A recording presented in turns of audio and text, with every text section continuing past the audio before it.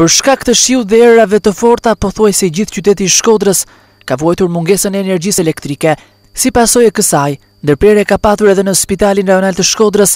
Në këtë të fundit, janë anuluar dhe shtyrë një numër i madh i ndërhyrjeve kirurgjikale, sidomos për operacionet, të cilat janë të parashikuar për një zgjatje tre apo katër orëshe.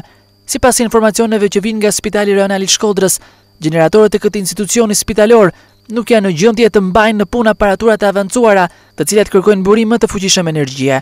Si pasojë e kësaj, dhe frikës së ndërprerjeve të energjisë elektrike, një numër i madh ndërhyrjesh janë shtyrë për një moment të dytë. Ndërkohë, bëhet me dije se ndërhyrjet kirurgjikale që kërkojnë afat të shkurtër kanë vijuar pa probleme, Energjia elektrike ka paralizuar për disa orë mbrëmjen e së enjtes një pjesë të madhe të qytetit, ndërkohë që biznesi e ka ndjerë menjëherë mungesën, duke mbyllur qepenat dhe aktivitetin, deri në momentin që operatori i shpërndarjes së energjisë elektrike të përmirësojë të gjithë situatën e krijuar.